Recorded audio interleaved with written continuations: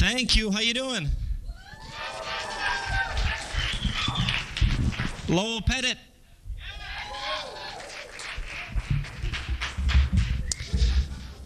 Oh boy, today I was sitting around in my room.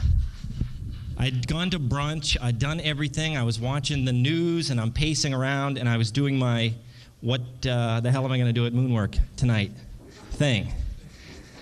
I was checking and rechecking my email and I'm going over stuff in my head and I started to write little notes down here in the book, uh, trying to think of something and trying to think of something that relates to the holiday season.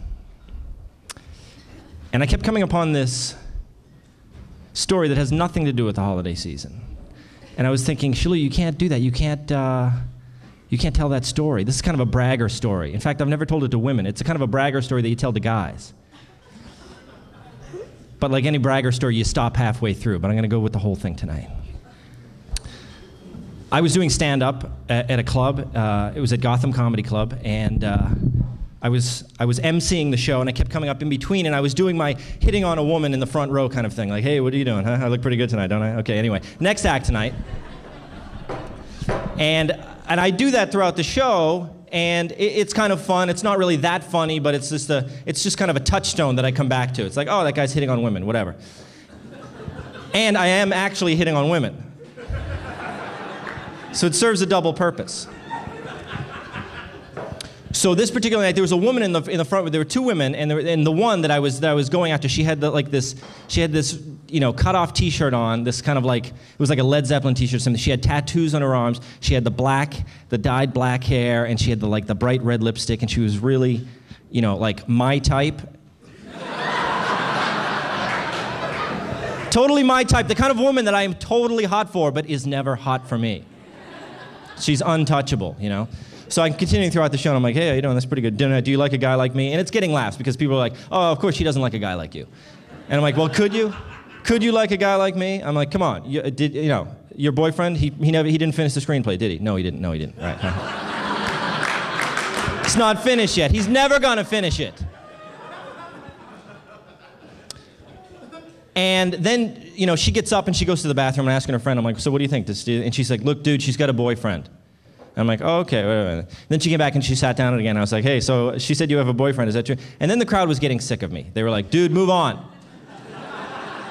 Guys were yelling out. They're like, get over it, dude, move on, whatever. And they're, and they're not they're not having fun anymore with my little thing. But I said, look, I'm going to continue it. I started on this tack, so I continue. So I continued throughout the show, and the audience was sick of me. And then the show ended, and I went out in the lobby, and then the woman came walking out with her friend, and I was like, hey, hey, thanks for letting me, you know, horse around the show. You know, I wasn't seriously hitting on everything. That's just what I do. And she was like, "Oh, that's okay. You know, you were kind of cool." And I was just like, you know, I was kind of, uh, uh, oh, that's okay. And she was like, "And you know what? You know, it's kind of funny. Is like my boyfriend didn't finish the screenplay yet." I'm like, "Yeah, of course, exactly."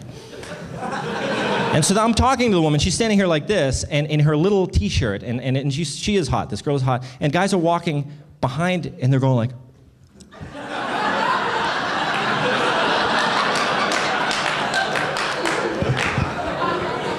So I'm like, keep her in conversation, keep her here, because you know until at least the crowd goes out, so I can you know feel good. And every guy that's going by is like, and then the guy's like, dude, that guy's talking, that girl's talking to that guy, girl's into him. That shit works, man.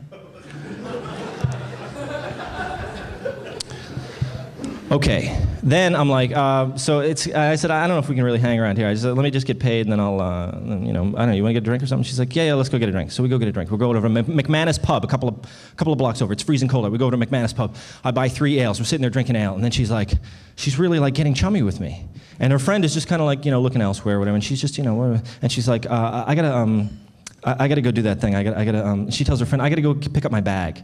You know that purse I left at that other bar, you know, at the, at the red, the, you know, the, the red hat or something? And she's like, oh yeah, the red hat. Yeah, you gotta, oh yeah, you gotta pick up that purse you left. There. Yeah, yeah, I gotta go pick up my purse. And I'm like, well, let's have a beer here. No, no, I gotta go there now. I'll walk. No, no, wait, I'll take you in a cab. So we went over there. We get in a cab. The three of us. Me and the girl sitting here and the other girl's here, okay? I don't know what happened. Like four or five blocks later, I'm making out with the girl. I'm making out with the girl in the cab. She just leans over and she's like right here, and I just start making out with her. Now that's where the story ends when I tell the guys, all right?